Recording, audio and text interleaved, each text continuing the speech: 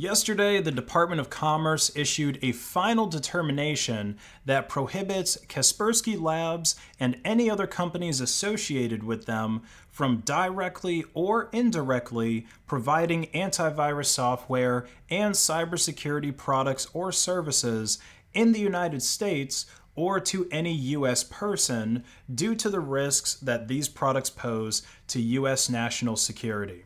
So the United States government is now officially labeling Kaspersky Internet Security and all other variants of their cybersecurity suite as spyware. And I say officially because there's been a lot of debate about whether or not Kaspersky is a spyware tool over the past few years. You might remember back in 2017 when the Department of Homeland Security banned the use of Kaspersky antivirus on federal computers and federal networks because of Kaspersky's alleged ties to Russian intelligence agencies and really the fear that the Russian government could compel Kaspersky to use the antivirus program maliciously as a spying tool. Now, to me, it makes perfect sense for the United States or any other country for that matter to avoid using proprietary software that is developed by a rival country in their government networks. And it especially makes sense to ban the use of something like an antivirus tool, which by design has a very high level of access to the systems that they run on. They do analysis of files that are stored on machines, and they're reporting their findings in files back to a remote server that is controlled by the antivirus company. Antivirus programs are basically like benevolent rootkits, but when the stakes are as high as a matter of national security, you know, government secrets being stolen, military secrets being stolen, you really shouldn't just blindly trust that the rootkit is always going to be benevolent. Now, at the time of the first Kaspersky BAM, I was actually working at Geek Squad. And Kaspersky was one of the antivirus programs that Geek Squad slash Best Buy offered um, with their paid tech support program. And you also could just go out and you know buy Kaspersky by yourself without getting tech support. Uh, but anyway, Kaspersky was one of the ones that Best Buy really pushed, right? Because they included it with the tech support, and it was also one that most individual Geek Squad agents at my precinct and other neighboring precincts would recommend to people. Um, now, it kind of depended on what the client was going to be doing with their computer and also the specs of the PC they bought, but generally, out of the three main antiviruses we offered, we would recommend Kaspersky if you wanted to have the best detection rate and I guess best overall security, at least on high end computers. And we would recommend WebRoot for everyone else who had lower spec machines because it used a lot less memory and, you know, I guess was about 90% as good as Kaspersky. Uh, and as far as the three that went with the tech support program, um, the other was Trend Micro, which we never really recommended because Trend Micro was trash. I think it was great a long time ago, you know, even before I worked at Best Buy, but yeah, during that time, it was trash, and I imagine still is.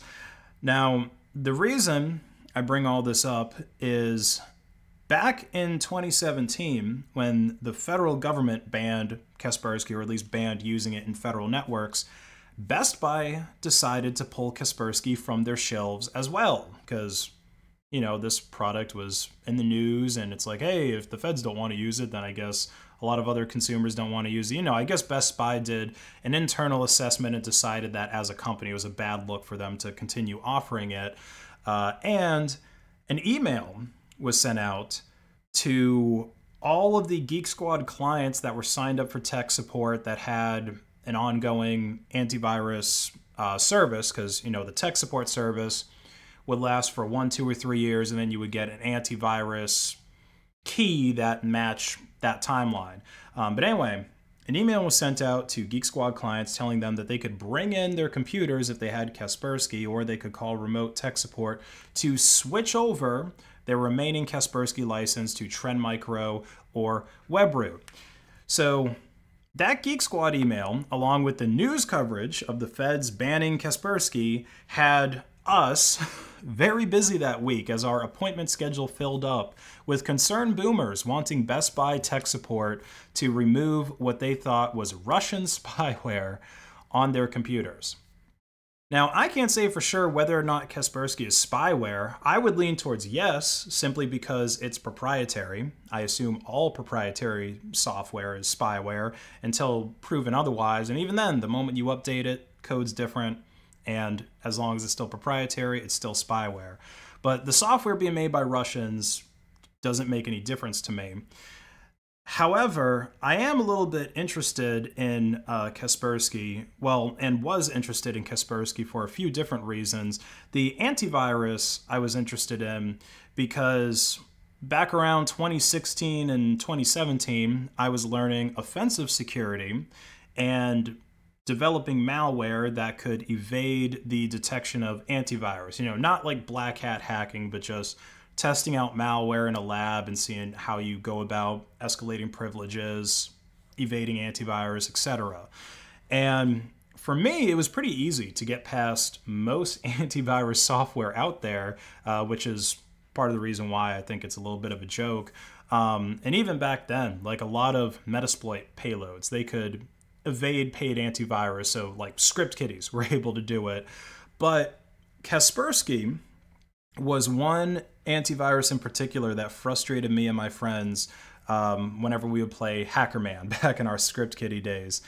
Um, sometimes we would be successful and bypass it, and then that was like a big accomplishment for us. But um, I guess something like my first pen testing lab with premium antivirus that's bought cheaply with an employee discount isn't going to be able to have Kaspersky on the menu anymore. I mean, the ban happened at Best Buy seven years ago, but still, if you were working at some other place where you sell Kaspersky, I guess that's not going to be an option anymore, at least not if you're in the US.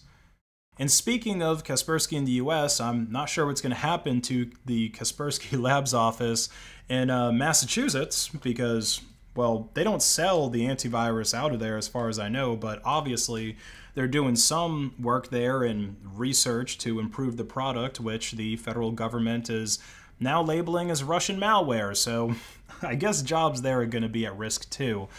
Now, I don't personally use Kaspersky antivirus or really any antivirus for that matter, so I'm not too worried about what's happening to Kaspersky from that perspective.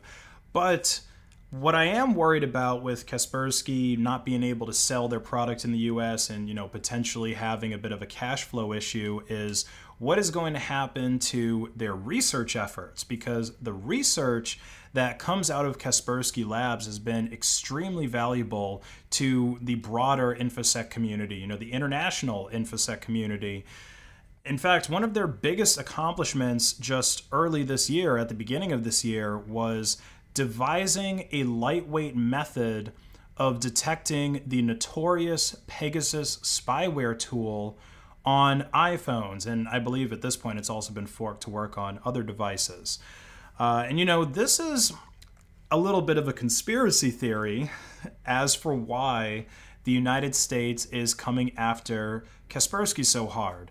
Um, because the NSO Group is the private security company that developed Pegasus spyware.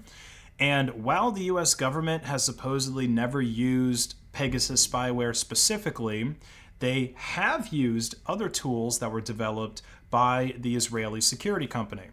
And so maybe the US government wants to try and hurt Kaspersky's ability to detect and mitigate spyware that they might want to deploy in the future.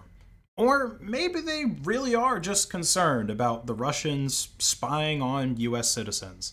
Let me know your thoughts in the comment section below. Like and share this video to hack the algorithm, and check out my online store, based.win, where you can get awesome merch like the Come and Find a t-shirt, the tie-dye tour tee, and accessories for your phone or laptop.